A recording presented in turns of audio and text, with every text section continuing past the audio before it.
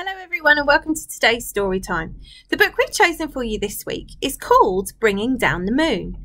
It's a story all about a mole who loves the moon and wants to bring it closer to him. He works out, though, it's not as easy as he thinks. I hope you enjoy the story. Bringing Down the Moon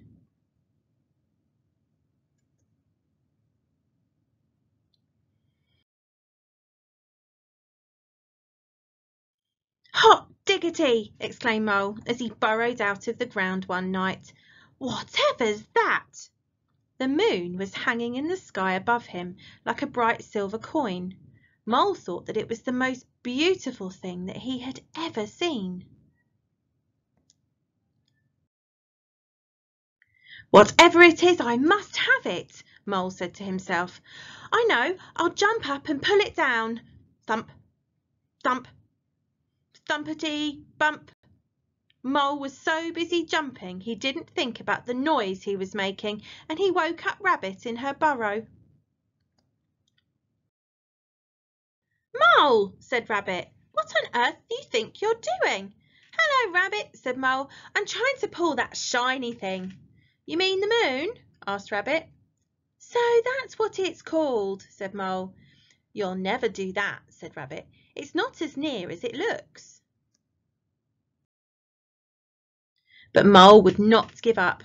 I know, he thought. I'll get a stick and poke it down. He found a long stick and poked it up at the moon. Swish, swish, swittershy swish. Mole was so busy poking that he tripped over Hedgehog in his bed of leaves. Mole, grunted Hedgehog. What the weevil are you up to? Hello, Hedgehog, said Mole. I'm trying to poke down the moon. You'll never do that, said Hedgehog. It's not as near as it looks. But Mole would not give up. I know, he thought. I'll throw something at it and knock it down. He found some acorns and threw them up at the moon. Plinkety plink, plinkety plink. Ouch, said Squirrel. Mole, have you gone nuts? Hello, Squirrel, said Mole. I'm trying to knock down the moon. You'll never do that, said Squirrel. It's not as near as it looks. But Mole wanted the moon so badly he would not give up. I know, he thought, I'll climb a tree and fetch it down. Mole had never climbed a tree before. It was hard work, and he was scared to be so far from the ground. But he kept on going until he saw the moon resting in the leaves above him. Mole stretched out his paws, but just when he thought he had the moon, he slipped. Oh, eek, ouch, oh! Mole tumbled down and landed, splash, in the middle of a puddle. Hot dang diggity drat, thought Mole. I almost had it that time. Then he noticed something floating in the puddle beside him. It was pale and wrinkled, but Mole recognised it at once. The moon, whispered Mole.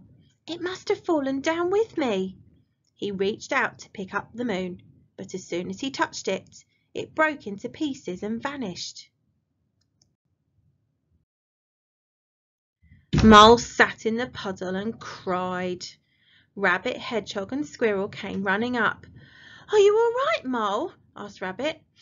I'm all right, sobbed Mole, but the moon isn't. I pulled it down and then I broke it and it was so beautiful and now I shall never see it again. Oh, Mole, said Rabbit, you couldn't have pulled down the moon. And you couldn't have broken it, said Hedgehog.